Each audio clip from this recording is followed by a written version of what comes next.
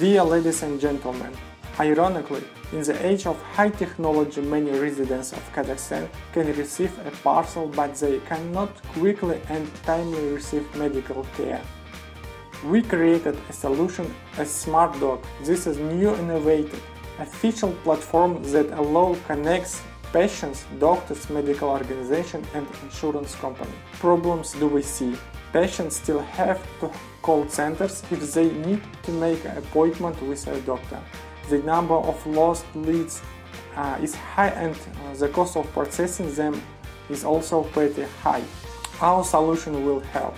For clinics, one integration connects the medical organizations with all insurance companies.